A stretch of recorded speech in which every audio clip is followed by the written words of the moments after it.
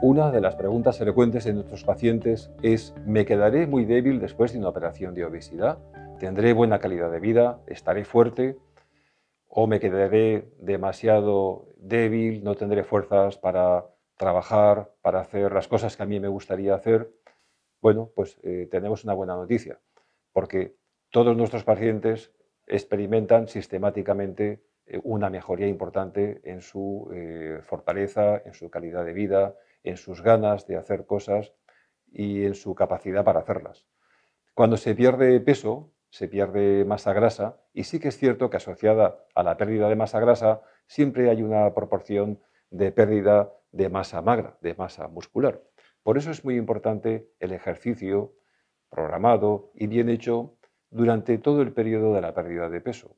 También es muy importante la nutrición, una nutrición completa, variada, aportando muchas veces suplementos proteínicos que nuestros eh, especialistas dan a los pacientes en según qué momentos, un soporte vitamínico, pero en definitiva, los pacientes se quedan muy bien en cuanto a calidad de vida y capacidad de eh, ejercicio físico.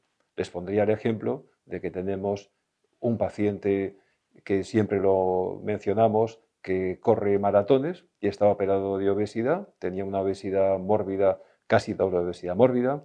Tenemos varios pacientes que hacen mucho ejercicio y que eh, participan en triatlones, imagínense. Qué difícil es hacer un maratón con un estómago donde cabe un plato de postre. Bueno, pues eh, es posible.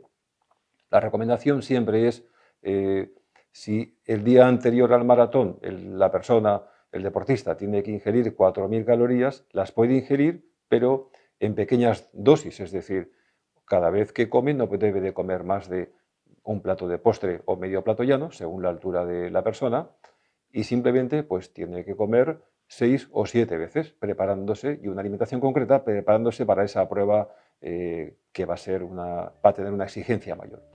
En definitiva, todo es posible y los pacientes eh, están fuertes y felices consigo mismos.